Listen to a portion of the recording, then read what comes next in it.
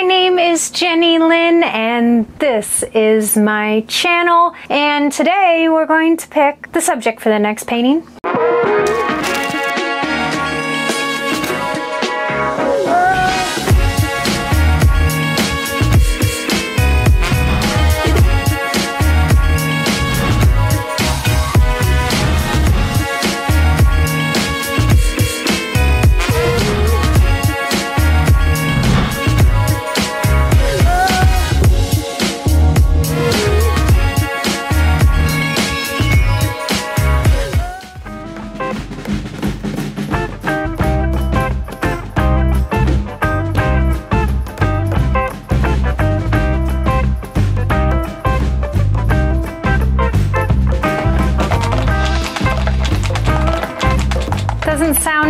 Awesome now because there's only two left.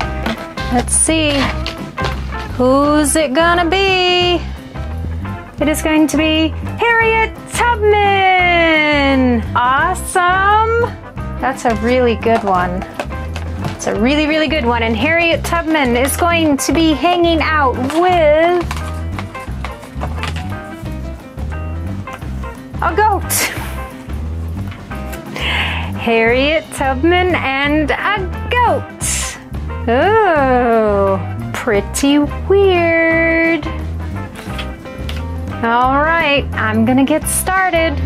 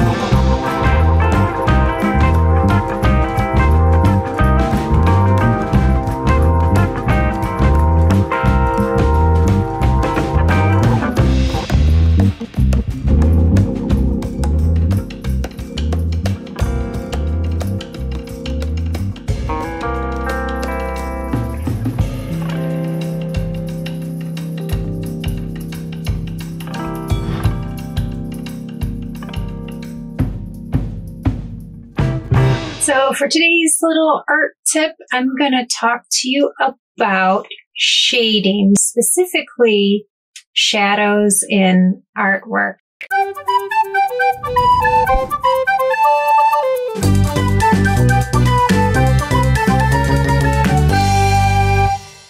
So, I got a painting up here that I did.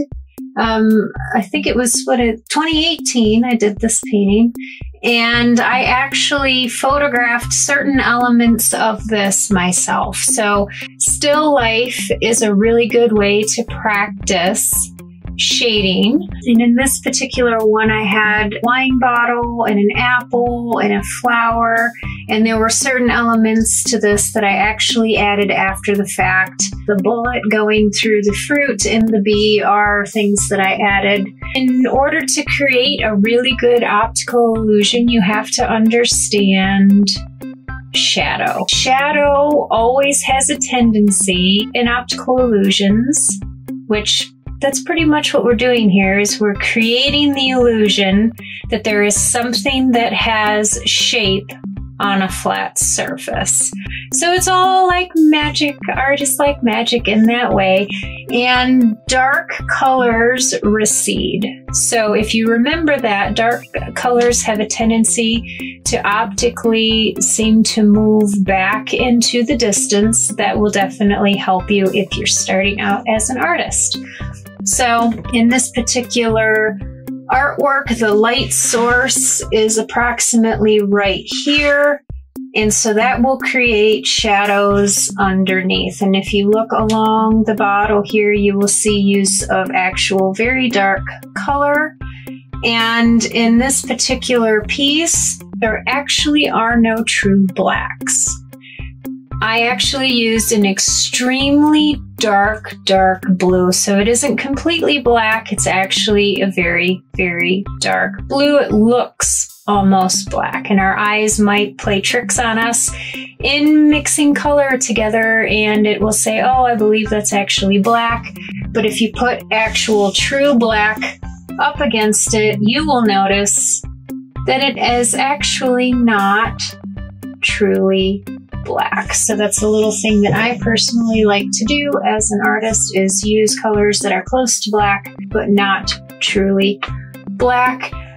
And in creating reflections, you will have a lot of different mid-tones, which are colors that aren't quite shadows, they aren't quite highlights, but they actually fall in the middle somewhere. You can see that all throughout the bottle. And in the apple, to create the illusion that it's actually curved, I used, you know, shadows along the bottom, and I created some shadow here at the top coming in. So in order to get a really good illusion that something is round, you usually will have shadow areas that blend up into highlighted areas. And a really good way to practice spheres is to actually just draw a sphere and practice your shading, practice your shading, practice your shading, and just keep practicing. And there's several different ways that you can shade, whether it be with pencil or with paint.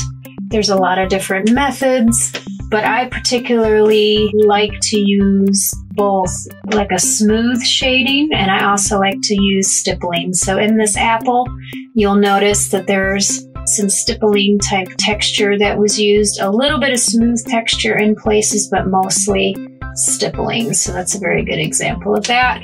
And then also in the little bee, you'll notice that there is a little bit of smooth shading, but there's also a slight bit of stippling up in the fuzzy bits of the bee to give the illusion that he's got a little bit of a roundness to him.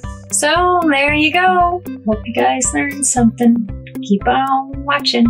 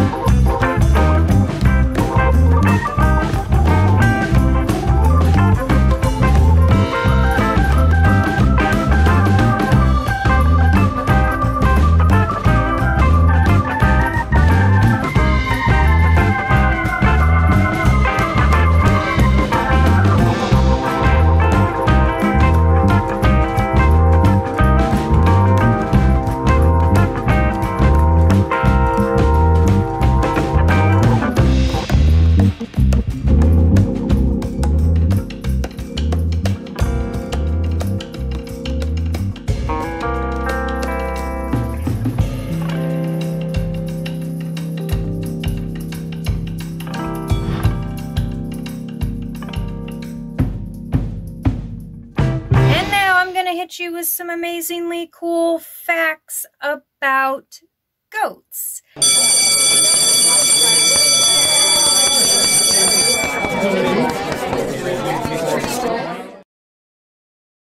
So goats have square pupils, and that actually allows them to see 320 to 340 degrees without moving.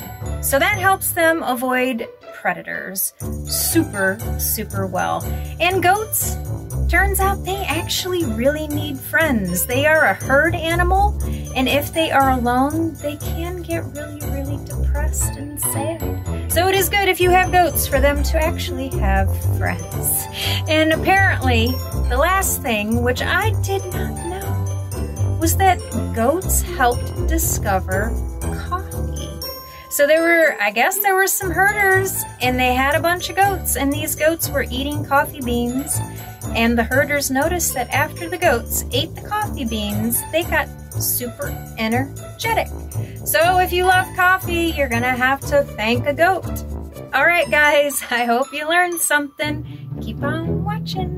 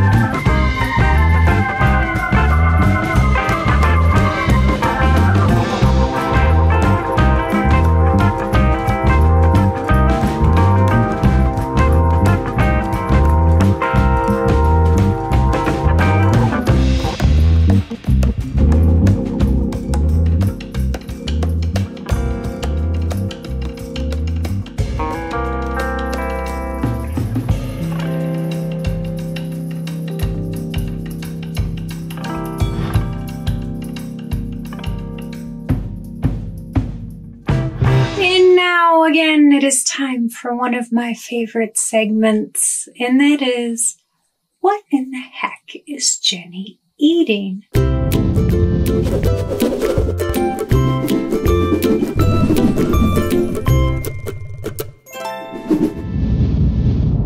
And today I'm going to pick another piece of candy from my bag from Mexico. I'm going to try to go all the way to the bottom. And it's going to be, if I can get a hold of it,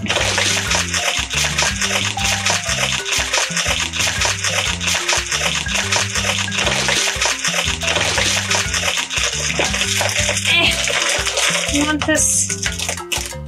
It is Lucas Salsagheti. So I'm going to assume that this is it's another hot candy. Watermelon flavored hot candy, tamarind flavored sauce. Hmm, but it looks like actual spaghetti in the package. Let's see if I can get it open so you can see. Oh my. So it's like it's like a little spaghetti kit. So apparently it comes with enchilada flavored hot liquid candy. Oh my goodness. There's the spaghetti, and this is the hot sauce. I got a feeling I'm gonna need a paper towel for this one. I gotta mix these together, and I'm gonna use my hands like an animal. Mm. It smells a little warm, but yeah, just gonna dump it.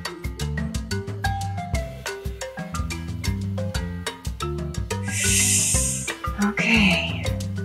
Mexico, you like to make me cry.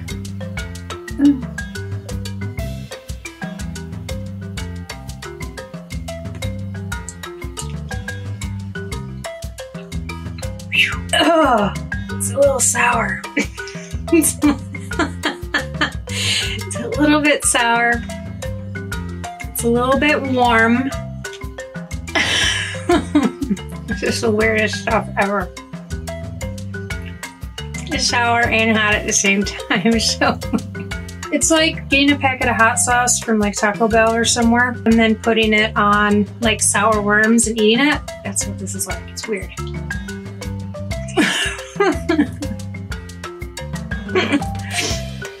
ah, it's like so weird. Whenever I eat sour stuff, like I get pangs on the side of my mouth. Like I get, you know, I like it. I like that sensation, but it's like you get this, you get the weird pangs of sour where you're like, ooh, ah, ah, and then you get the hot at the same time. It's totally new experience for me. Take it in pieces, but maybe I just need to throw this whole thing in my mouth. Okay. Okay. I'm just gonna stuff the rest in my gob here. Oh. Sweating a little. Eyes are watering a little. It's a little warm. It wasn't bad, but I'm gonna definitely rate it low. And I absolutely don't like that packaging where you just kind of mash it all and you're getting it everywhere. Not really my bag, so I'm only gonna do a two out of five. Whew. Ooh, it's very, very strange. But hey, if you like messy and you like hot and sour at the very same time, it's probably one you should try. But I, nah. That's probably first and last for me. All right, guys, keep on watching.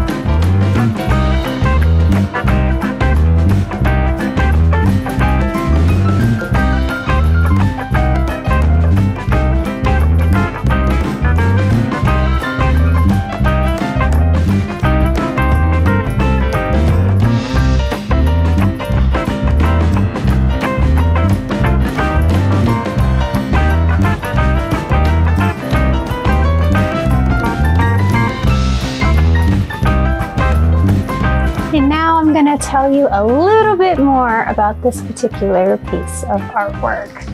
So, I wanted to do something that was very symbolic with this particular piece. It's uh, Harriet Tubman and a goat. Um, and when I selected those two subjects, I was like, what am I going to do with this? Like, I wasn't really sure. And it was kind of hard. It took me a little while to sort out, you know, sometimes things come to me very quickly. I have really great ideas. And then other times I really, really, really think about it. So I went through and I started, you know, reading a little bit more about her life, you know, digging a little deeper. And I came to the conclusion I mean, it's just a guess, an educated guess, I guess you could say. Um, like someone that had as much compassion as she did, I would imagine that she probably also was very compassionate when it came down to animals as well. So I said, well, perhaps I can do something where she's, you know, protecting a baby goat or, you know, shielding it from harm or rescuing it or doing something like that. So that's what I decided to go ahead and do is I have her protecting, being a very, you know, mothering figure with this little baby goat. And it's also kind of cute in a sense. And then I also have some chains here that are broken. So, you know, that's very symbolic of her life's work and everything that she had been through. And if you don't know her story, you know, definitely check it out. I know that there's, I'm pretty sure there was a movie that came out recently about her. So I haven't seen it yet, but I should, should probably watch it. But if you, you know, read about her story, she did so many crazy things. I can't even imagine. I try my best, but it's one heck of a life, and you know, her legacy is amazing.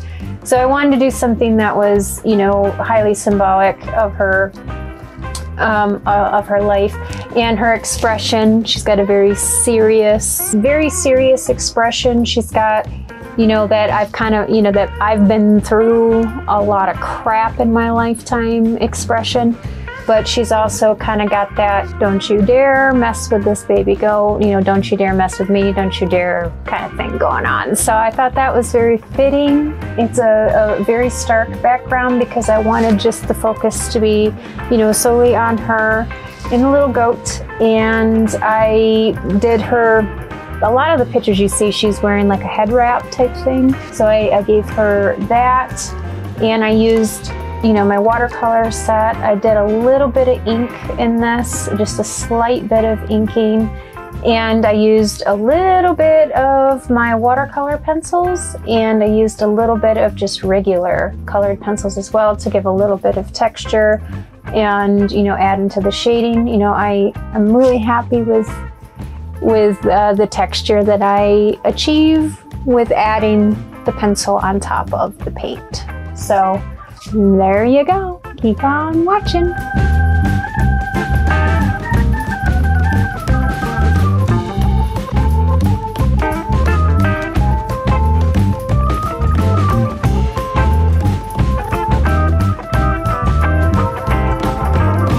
Thank you so much for watching. I, I, really am so grateful that you've been keeping up with me as I go, and Katie Apuri really appreciates it too because she's a diva.